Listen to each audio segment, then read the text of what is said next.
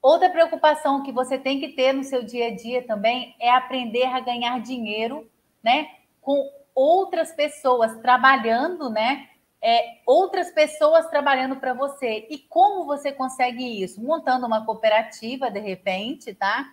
Você pode ser a pessoa que consiga muitos plantão, plantões, e você pode direcionar para outras pessoas e você ganha um percentual. Tem uma cuidadora que fez o curso comigo e ela tem um contato bom, né? Ela conseguiu, né?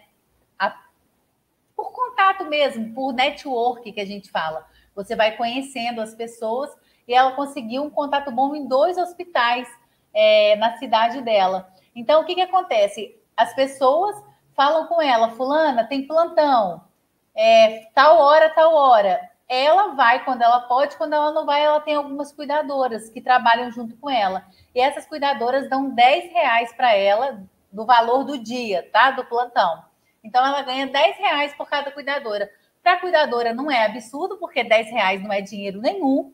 E para a cuidadora é bom, porque ela arrumou um plantão. E para ela, de 10 em 10, como diz ela, no final do mês ela fez ali mais mil reais é, sem ter nenhum trabalho, tá? Então, parece que é 10 ou 20 reais, tá? Dependendo do valor. Enfim, ela não usurpa ninguém, mas ganha mais porque faz esse trabalho, ok?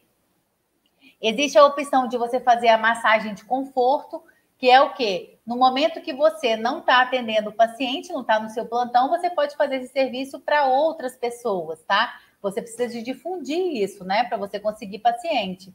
Existe também as damas de companhia ou os netos de aluguel, que seria o quê? Você, no momento que você não está trabalhando, que você não está no seu plantão, você oferece serviço de levar idosos a médicos, de, de ir ao supermercado, de fazer uma companhia, de fazer é, só exercícios para estimular, de fazer jogos, de jogar baralho, enfim. É um serviço que você pode oferecer para os idosos também. Muitos idosos, gente, ficam muito sozinhos, né?